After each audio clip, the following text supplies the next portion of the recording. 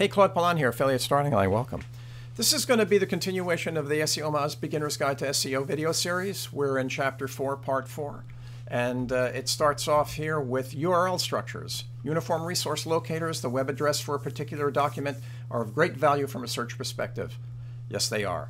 And what they do here in this part of the chapter is show you that URLs appear in some main parts of the web, namely in the search results, in the address bar, and even in content. What do we mean by that? Let's take a look. So in the search results, you're going to see URLs appear right under the title of and the link of the search results. So here is uh, this URL. There's another one here. They're in green and they're pretty easy to identify. And generally, they want you to be able to see those. And it, you should be able to tell from the URL what the site's about. The next place you find them is in the address bar. Here's the walking company, and there's the address bar with the URL for the for the website there. So address bar, place number two. Place number three, in content. This is the content of a blog, and right up here is a reference to a URL. So that's the third part where you can see URLs. So that's basically what that explains in this part of the chapter. The next part they want you to understand is that there are five different features to a URL that you should employ when you're designing or picking a URL for a site.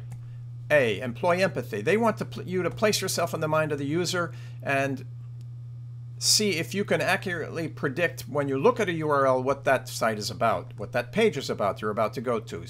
Shorter the better. The shorter the, the URL, the better. Uh, that's not always possible, but you, at the very least you want your URL to be descriptive of the material or the page or the copy that people are going to find. Keyword use. It's if you can, make sure that the keywords that is the main keyword for that piece of content that's going to follow is in the URL. Uh, it's easier to do that with certain content management systems, but uh, you want to like WordPress, and uh, if you can do it, do it. Uh, and I'll, we'll see what that what that's all about in a second. Go static. The best URLs are humanly readable without a lot of parameters and garbage in them. So they show you one here. You know, here's a URL with blog uh, question mark ID equals one two three. Is wouldn't it be a lot better if you just had keywords separated by hyphens? And those are what the last two features they talk about. So those are five different ways to look at designing a usable URL. Next piece of content talks about canonical and duplicate versions of content. So duplicate content uh, means that you have the same content on two different pages of, of a website or more. And that same content could be there for a valid reason. You may have a printable uh, user piece of a page and then you have an HTML version of the page. But the, the point is that the, the material in that page is the same. Canonicalization, which is a, a word, happens when two or more duplicate versions of a web page appear on different URLs. So now you're getting the same content across several pages, but each one of those pages has a different URL. What can you do about it? Because the reason you don't want to do that is that it in a sense, confuses the search engines and they penalize you for it. So, you know, you could lose page rank or you drop in the rankings, etc. You really don't want to do that. So, the way to avoid it, there's two methods. One is to use a 301 redirect, which is a fancy way of saying you can tell the search engine when it reaches a page, hey, this is the same content as I've got on another page, so I'm going to send you to that other page because that's the important page that you should pay attention to. And a 301 redirect does that. In this case, the 301 designates a redirection that is permanent. You always want that to happen. So that's one way. The second way is by using a canonical URL tag. This achieves exactly the same end, it, it, it, but it does it by using a piece of code and putting it into your HTML page. Uh, and that usually comes in the form, in the case of WordPress, of a plugin. In this particular case, we have a, a content on this website. And down here, I can uh, come down here and see, I can see I have a space for a canonical URL or 301 redirect in which I can put the, the web address of whatever the main page is that I want to send the search engine to because the content on this page is duplicate. So here is a, a uh, here is an actual demonstration of the two different methods you can use to do uh, to avoid the duplicate content situation.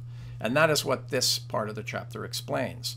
They show you down here the, the link structure that you would use if you wanted to type it in yourself in HTML. So that's a link really equals with canonical in quotes, and then there's an href equals, and then in quotes is the HT, as the blog uh, URL as the main is a URL you want to send the search engine to as the main repository of that information. Rich snippets. This is another concept that uh, that you should know about. It's it, it's um, it's a little bit down the line in sophistication. You really don't have to worry about this if you're really starting just starting out, but you should know about it, and then somewhere down the line you'll want to pay attention to it. This is another way. Uh, a, a rich snippet is just a piece of information that describes your site, but it's put in a certain type of code that designates it for the search engine as more important than your metadata description. And so the search engine will pull that up and use that to describe your website in the search results. That's really it. On the right hand side, it shows you the code that you would use instead of the normal HTML code. And, and what it does, it's also designed for certain types of information. So to show you a rich snippet, right here. This is a rich snippet. It's a review of a restaurant, and the content here that you're going to see is going to be different than what they have in their meta tag description, but it's more relevant to what you're going to get when you click on the page. So it adds relevance, and by doing that, it adds your odds of, ranking for that information. Uh, there's a place in the Google thing that explains what rich snippets are about, and it's rich snippets pertain to certain types of information. In this case, reviews, people, products, businesses and organizations, recipes, events, and music. So if, if your information falls into any one of those categories, then there is code, rich snippet code that you can use to make the uh, search results more relevant, uh, and uh, you stand a better chance of, of ranking. And then the last part of the chapter is defending your site's honor. Is this is all about people who scrape content. Someone scrapes, takes content off your website and tries to use it on theirs. You want a way uh, to protect yourself uh, so that you, you get recognized as the author. And, and the way that you want to do that is by using pinging. In this case, they recommend a program called Ping-O-Matic.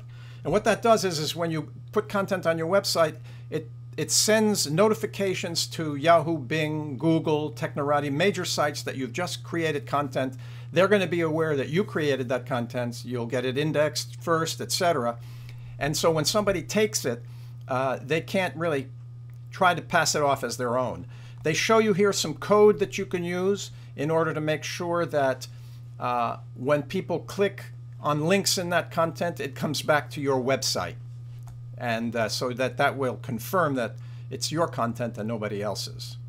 So, and then it goes down here and, and gives you a link so that you can understand how you can enforce your copyright and what to do if somebody steals your information.